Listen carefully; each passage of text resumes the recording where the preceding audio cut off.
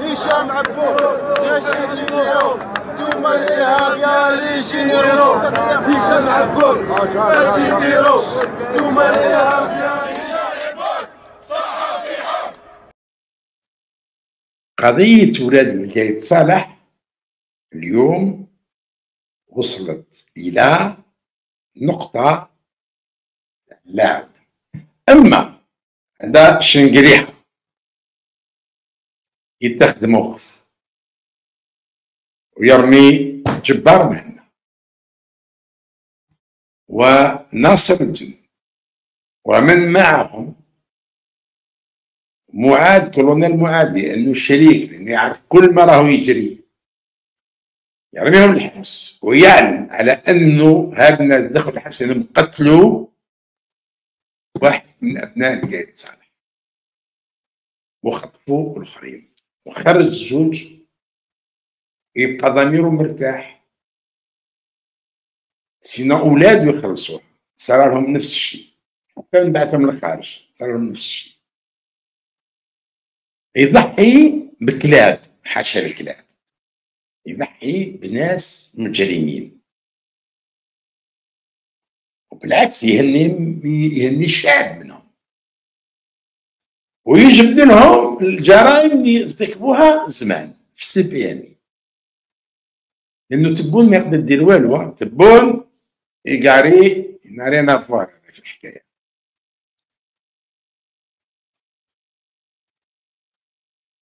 donc ما على سي شنقريحة إلا أن يكشف المستور. كيفاش؟ أنت راجل عينك كانوا راح يعاقبوك كانوا راح يخرجوك عينك في سيرتي قيادة القوات البرية باش تخلفوا من بعد انه هذيك راح تحل لك طريق تاع قيادة أركان الجيش. تبكيلو الأرملة ديالو تخطف الولاد تقتلوهم كامل. إنه الآن إذا ما تحركتش عائلة قايد صالح يعني يماه آه يماه الولاد زوجاتهم ونسابهم واخواتاتهم إذا ما تحركوش يقولوا أديو على أولادهم. كما فوق العشرين ألف أم. فوق العشرين ألف والدة. اخوات كبدتها. تشوات كبدتها. تحرقت كبدتها. كم من أب وكم من ابن وبنت. وأخ وأخت.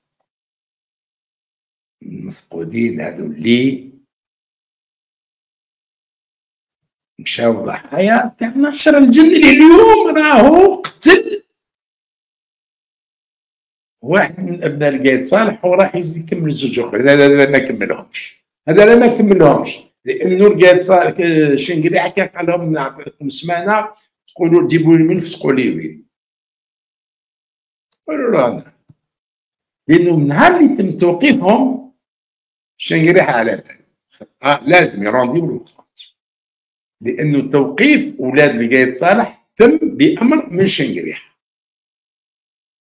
سواء كان بإعاز من توفيق من جبار مهنا ولكن تم بأمر من شنقريحه هو الفعل يقولوا نوقفوا نقولوا وقفوا كي وقفوا يرونديو الوقت c'est comme ça ça se passe في الجيش. لازم ما يتقدرش تروح تمس ولاد. قائد أركان جيش ميت. لك شحال الناس شكاو بهم شحال كدا ما دارهم والو. ما تقدرش تمسهم لو ما تاخذش الضوء الأخضر من عند أعلى مسؤول. الأولى. الثانية بمجرد أن يتم توقيفهم يخبروا اذا كان على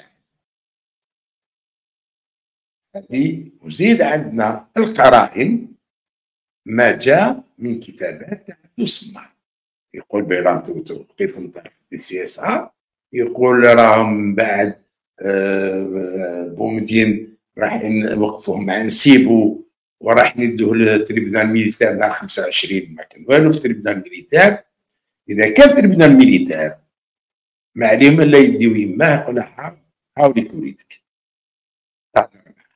والاخر الاخرين زعما محاربين ناوي إذا ما داروهاش donc تضليل من خلال عندو سمار يقوم يعطوا أرمي باش تضل الرأي العام وهي خليها. دونك أنا شو نقول للعائلات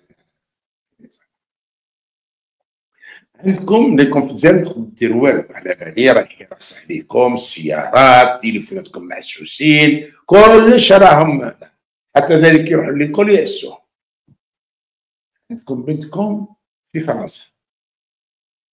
ما عليها الا تتصل بي العنوان راهو هنا نعاود نحط العنوان. هاو العنوان تاع الإيميل. تتصل نوري لها كيفاش تصل ب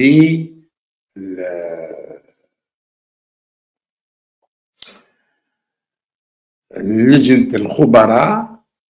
تاع الاختفاء القسري للأمم المتحدة. دوك يجبدوهم يجبدوهم. إذا درت تسمحوا فيهم لأن ما عندهم يدير لكم والو. واش راح يدوا المرأة الحبس؟ خلاص. يقدروا يدوا يماهم الحبس ما يقدروش يدوا نساهم الحبس. وزيد الطفلة أختهم راهي برا في الخارج. أمه على خوتها ثلاث رجال يقول لك نوريلك أنا كيفاش تتصلي وترفعي دعوة وفي ظرف 48 ساعة. يراسلوا الرئاسة إذا ما عندهمش رد يطلبوا هما يحطوا الحق. والجزائر اللي راه في مجلس الأمن تولي تطرطر. عصابة طبعا ماشي الجزائر ديالنا عصابة تولي تشطح على الزنداني. تشوف ذاك. إذا ما درتوش هذا الشيء ما عندكم لا كرامة ولا أناقة ولا آه تستاهلوا واش راه يصرى تستاهلوا. عاد تستاهلوا واش راه يصرى لانكم وليتوا أنتم شركاء في الجريمة مع الجلادين ديالكم. هنا وإذا كنتوا احرار داكم النيف ديروه. أنا مستعد أنا نعاونكم نوري لكم من الطريق اللي باش يتفضحوا لازم يتفضحوا. ذاك الوقت يتكشف كل شيء. تاع لأنه باش ربي من خلال هذه العملية فضح جرائم آه، ناصر الجن وحسين بولحية وجبار مهنا ويتم توقيفهم. ذاك الوقت لما لجنة خبراء الأمم المتحدة المكلفة بالاختفاء القسري يراسلوا.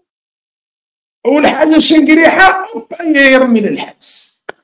هذا باش يدير. يرمي للحبس ويقدمهم يقول قدم العدالة إذا ما كنتش باغيين نديروا ربي على كل حال المفقودين الله يرحمهم اللي العشرين ألف هذوك إذا قلنا بالكش ديروا بيكم أنتم بولاد القيثار على المفتاح.